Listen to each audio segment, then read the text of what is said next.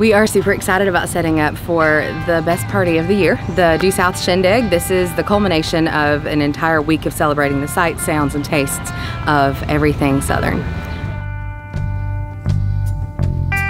Well, I heard tale of a woman out there with tight blue jeans and long black hair. She'll come to play, she won't stay, and it always brings them down. 60,000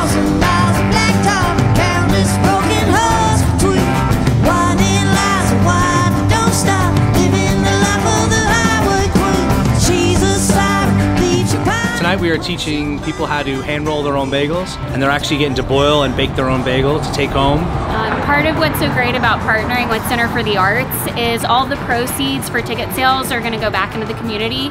They go for classes with senior citizens, classes with children, and it's just a really great cause.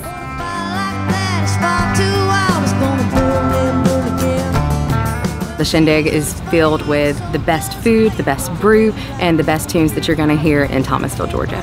Girl for loving this whole Well, I think what one of the things that makes this event so special is that it raises awareness for the for the arts in, in Thomas County, and then it also uh, allows kids to be exposed to the arts and kids who may not have access expands our pool of, of kids who get to enjoy that and to experience that for themselves.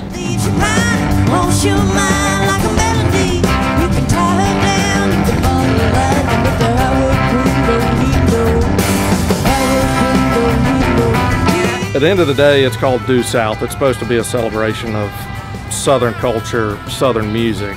The only thing I'd say to someone who's never been to Due South is just to buy tickets early because they all sell out. That speaks for itself.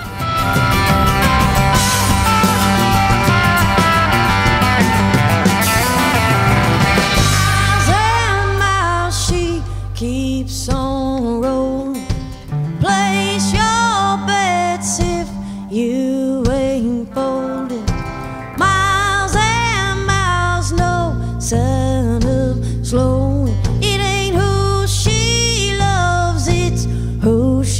told